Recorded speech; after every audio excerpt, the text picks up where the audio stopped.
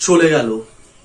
আপনাদের টোল্ডের কারণে চলে গেল সেই তরতাজা প্রাণ, যাকে আমরা কিছুদিন আগে আমরেলা গার্ল হিসাবে বলতাম।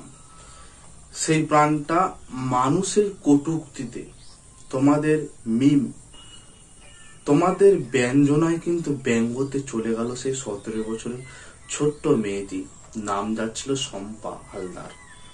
কি করেছিল? না, উচ্চ মাধ্যমিক সে ইংলিশে ফেল করেছিল। যার জন্য সে কিন্তু রাস্তায় নেমে আন্দোলন করেছিল। আপনাদের টোল, আপনাদের ব্যঙ্গ, তাকে কিন্তু মৃত্যুর পথযাত্রী করে তুললো। সেই মালদা জেলার সেই মেয়েটি আমরেলা গার্ল হিসাবে যে পরিচিত হয়েছে কয়েকদিন আগে।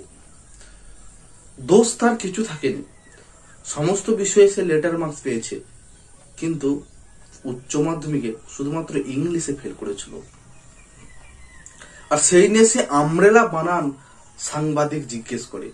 কিন্তু ওই সাংবাদিক একবারও কি লক্ষ্য করেছেন? আমরেলা বানানটা আপনি জিজ্ঞেস করার আগে আপনি উচ্চারণটা কি করেছেন?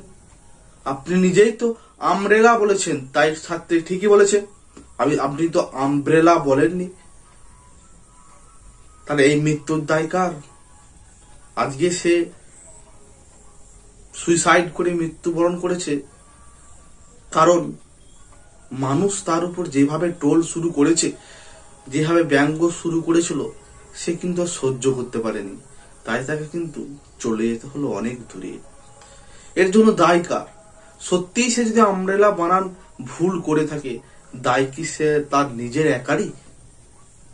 মাস্টারমশাইদের দায় নয়, শিক্ষা ব্যবস্থা এর জন্য দায়ী নয়, শুধু কি সে একাই দায়ী? বিষয়টা কিন্তু খুব গুরুতর। এবং এভাবে যে সতেরো বছরের ছোট্ট মেয়েটি চলে যাবে সবাইকে ছেড়ে, এটা ভাবা যায় না। তাই এভাবে এগুলো বন্ধ করুন। অনেক কিছু ঘটনা ঘটছে। সেগুলো নিয়ে টোল করুন, মিম করুন, ব্যঙ্গ করুন, কাজে দেবে।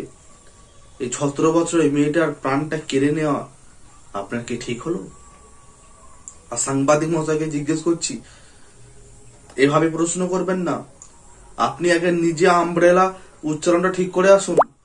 তারপর না হয় আপনি আমব্রেলা জিজ্ঞেস করবেন।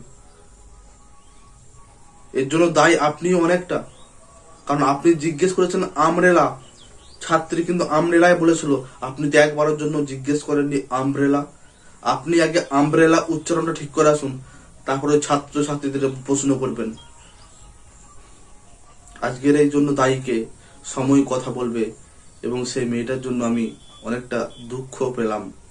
কারণ ওই ছোট্ট ফুটফুটে মেয়েটা আর পৃথিবীতে নেই।